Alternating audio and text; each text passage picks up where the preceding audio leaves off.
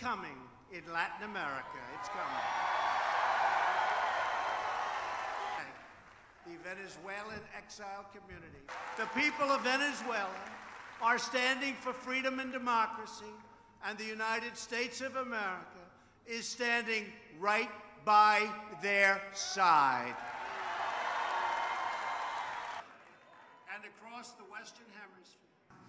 Socialism has so completely ravaged this great country that even the world's largest reserves of oil are no longer enough to keep the lights on.